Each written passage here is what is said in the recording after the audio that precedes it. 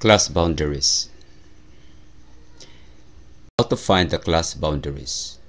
It is easy to compute the class boundaries, especially when the data values are whole numbers. Subtract 0.5 from each lower class limit and add 0.5 to each upper class limit. Let's start from the lowest class interval. 13 minus 0.5 is 12.5. 15 plus 0.5 is 15.5. Next, 15.5 to 18.5.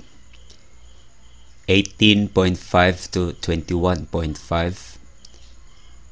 21.5 to 24.5 and 24.5 to 27.5. Cumulative frequency distribution. Cumulative frequency distribution is a table showing the cumulative frequencies.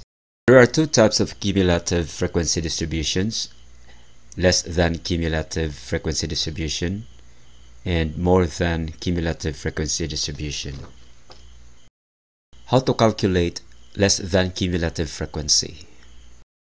Let's use the data about the ages of 40 women when they have their first boyfriend.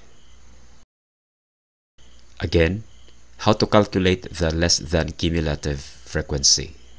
First, copy the frequency of the lowest class interval. The frequency of the lowest class interval is 3. Then add the frequencies successively. 3 plus 11 is 14. 14 plus 14 is 28. 28 plus 7 is 35. 35 plus 5 equals 40. This means that 40 women each had a boyfriend when they were less than 27.5 years of age. 35 women each had a boyfriend when they were less than 24.5 years of age. 28 women each had a boyfriend when they were less than 21.5 years of age.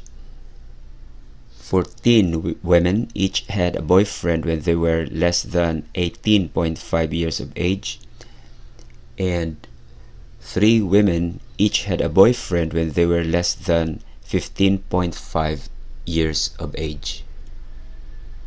How to calculate more than cumulative frequency. First, copy the frequency of the highest class interval. The highest class interval is 25 to 27 and the frequency is 5. Then add the frequencies successively. 5 plus 7 is 12. 12 plus 14 is 26. 26 plus 11 is 37. 37 plus 3 is 40.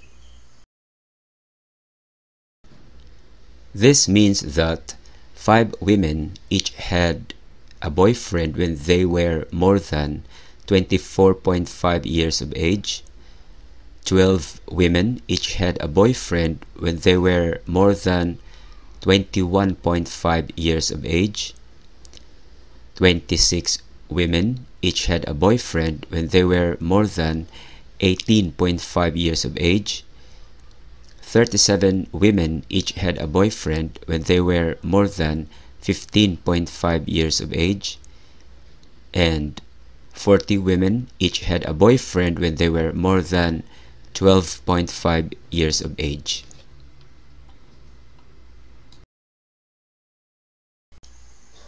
The cumulative frequency distribution. Thanks for watching.